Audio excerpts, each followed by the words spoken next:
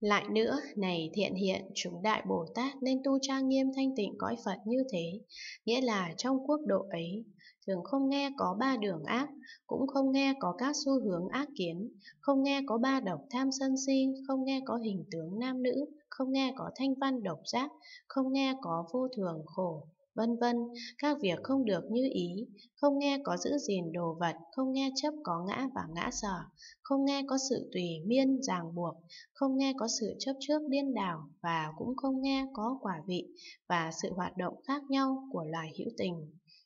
Chỉ nghe tiếng nói không vô tướng vô nguyện, vô sanh vô diệt, vô tánh, vân vân, nghĩa là tùy theo ý muốn khác nhau của hữu tình, cũng như cây trong rừng, khi có gió nhẹ thì các vật trong ngoài đều khua động với nhau, phát sinh các thứ âm thanh vi diệu. Trong âm thanh phát ra, tất cả pháp âm đều vô tự tánh. Vì vô tự tánh cho nên không, vì không nên vô tướng, vì vô tướng nên vô nguyện, vì vô nguyện nên vô sanh, vì vô sanh nên vô diệt. Do vậy các pháp bản tánh vắng lặng, tự tánh niết bàn.